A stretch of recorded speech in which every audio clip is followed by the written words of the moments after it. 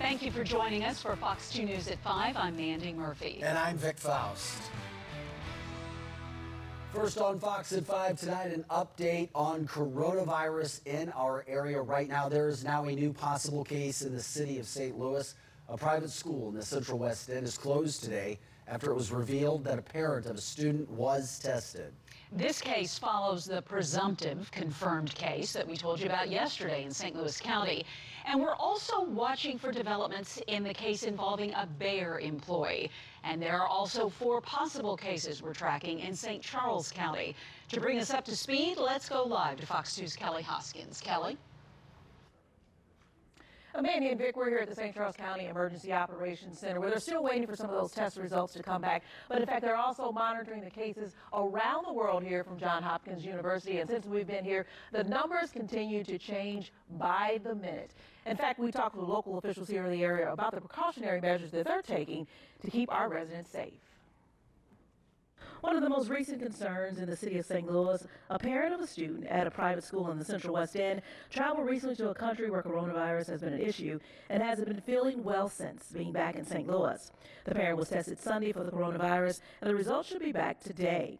Meanwhile, in St. Louis County continues to deal with one of the presumed positive cases of coronavirus, saying the family broke the quarantine, which the family disagrees. As a result, the two schools have been closed, Villa Duchesne and Oak Hill School. Administrators learned that the woman presumably affected with the coronavirus is the older sister of a Villa Duchesne student. Reportedly, the father of the family under quarantine attended a father-daughter dance on Saturday night at the Ritz-Carlton in Clayton. Meanwhile, in Creve Coeur, Bayer temporarily closed its campus until further notice. Bommarito Automotive Skyfox flew over Bayer. The closure is to implement additional cleaning measures in common areas as a proactive measure of abundance. Precaution as the employee is being tested for the coronavirus. And over in St. Charles, five patients are being tested. One who just returned from Mexico is in the hospital in isolation. There's also one patient who just returned from Germany is currently under self-isolation. One patient who just returned from Washington State is currently under self-isolation. And we talk with officials about what they're doing to make sure the public feels safe. Look, we have some of the best healthcare facilities in the nation here in the city of St. Louis and tons of resources.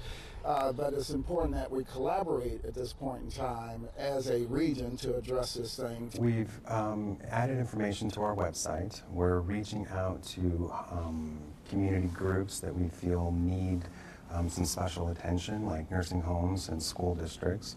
Um, we are, have also pulled together all of um, our law enforcement officers.